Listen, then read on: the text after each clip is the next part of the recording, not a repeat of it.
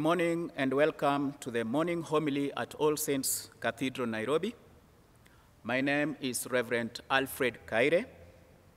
Our sign language interpreter is Rosalind Njuguna. Brethren, our theme this week is based on Jesus, the promised King.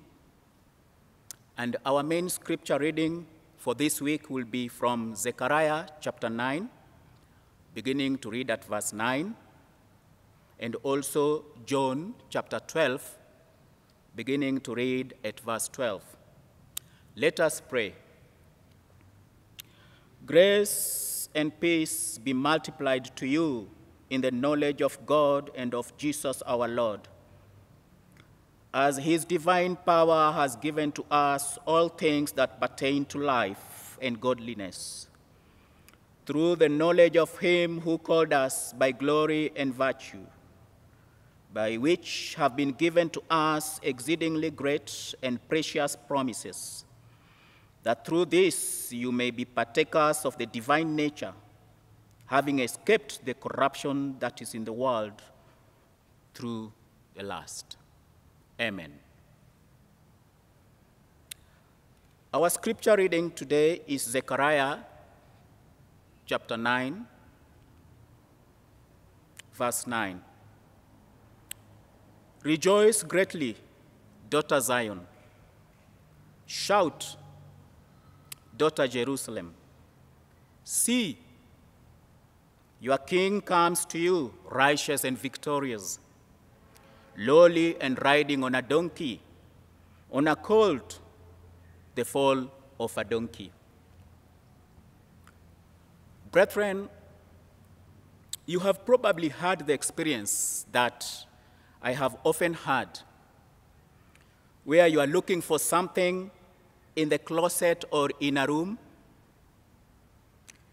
but you couldn't find it because you had the wrong concept of what you are looking for. You thought that it was in a square black box, but it really was in a brown box. So you stared right at it and perhaps even moved it out of the way. But you missed it because your mental picture of it was wrong. Brethren, most Jews missed the king because they were expecting a different kind of savior. They thought that the Messiah would be a mighty political deliverer. They thought that the Messiah would be a mighty, victorious person over Rome. They were not looking for a lowly savior riding on the foal of a donkey. They could not conceive of a suffering savior who offered himself as the sacrifice for sinners. And so, tragically, they missed the coming of their king. What am I trying to say? Many people, even now, miss the king because of wrong expectation. They are looking for a savior who will grant their every wish, but it hasn't happened. They want a savior who will instantly solve their deepest problems, but those problems have not gone away. Or they expect a church where everyone always loves one another, but a church member treated them wrongly, so they dropped out in bitter disappointment. Brethren, these are the wrong concepts I had when I was looking for what I could not see while it was there when I started. In order to joyously to welcome our King, we need to understand properly who he is. Our text is one of the messianic prophecies of the Old Testament. But the news that a king is coming is not necessarily a cause for great joy. No. If you remember the coming of Alexander the Great, who ruthlessly conquered Israel's neighbors, the news of his coming would have struck terror in the hearts of those in his path. He often slaughtered all the men in a city and sold the women and children into slavery. He was not concerned about the well being of subjects, but only about his own power and dominion. Is this the king that we are expecting? Brethren, it is also difficult to accept the news of a coming king because there is a sense in which all of us want to rule our own lives. We can accept government interference to a limited degree as long as it does not get too close. But if a king started trying to control every aspect of our life, how do we how we do business, how we relate to, we relate to each other, including our families, and even how we speak and think. We resist the very thought of such a king. We certainly would not rejoice at the news of the coming of that kind of a king.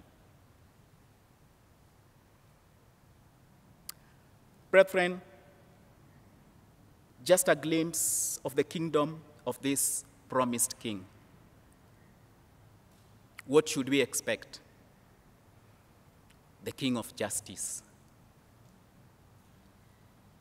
The primary reference in this context is to a king who administers justice in his kingdom. He is not corrupt, the king that is coming. Like so many world rulers, I read every now and then about leaders who are siphoning public money into personal and family bank accounts. Our king is not that type of a king. Much of the poverty and suffering around the globe stems from corrupt leaders who have no regard for justice. Brethren, that is not our loved King who is coming. But the promised King will be just in the administration of his kingdom because he is righteous in his person. He is righteous in his dealing. He is righteous in everything that he does. This is the king that is coming. The king that is coming, he is not out to take advantage of his subjects for personal gain. He has their best interest at his heart. Oh, glorious King, he is the one that is coming. The King that is coming is the King of salvation. He will fulfill the promise of salvation by ruling over all the nations. He will bring spiritual salvation by offering himself as the sacrifice to satisfy God's justice against sinners. If God dismissed our sin without the penalty being imposed he would not just be, he would not be just. God has declared that the penalty for sin is death. Not only physical death, brethren, but also spiritual death. Eternal separation from the holy God.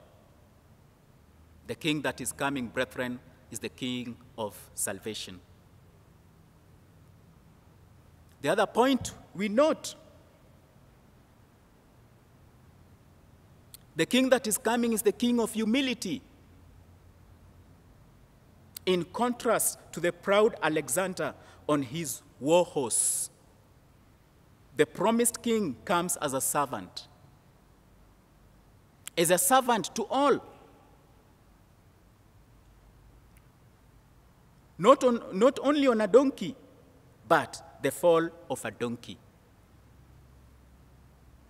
In the Old Testament, kings and warriors rode horses, not donkeys. The donkey was a lowly animal used for peaceable purpose by those who are of no rank or position. By riding the foal of a donkey, the promised king showed himself to the king to be the king in fulfillment of our text. But not the exalted political king that the people expected. But he who offers salvation and peace with, with God through his death. This is the king that is coming, brethren.